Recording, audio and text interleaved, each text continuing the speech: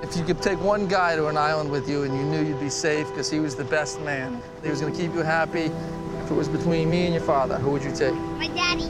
I think you're wrong about that. What happened to my brother? I don't understand. Which part are you having trouble with? Well, I can't be his guardian. Well, your brother provided for your nephew's upkeep. I think the idea was that you would relocate. Relocate to where? Well, if you Here? look, it was my impression that you'd spent a lot of time here. I'm just a backup.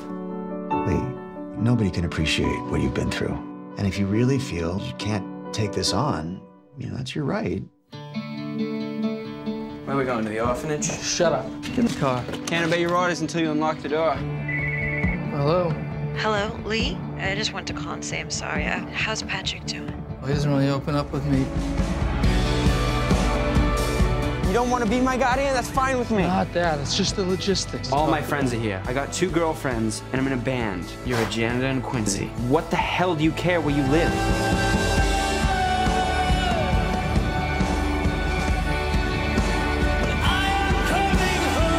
I said a lot of terrible things to you. My heart was broken, and I know yours is broken too. No, you don't understand. There's nothing there. Not true.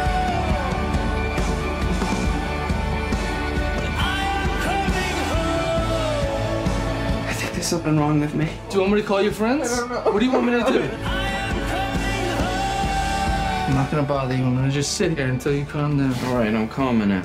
Would you please just go away? No. Stay white. We gotta be.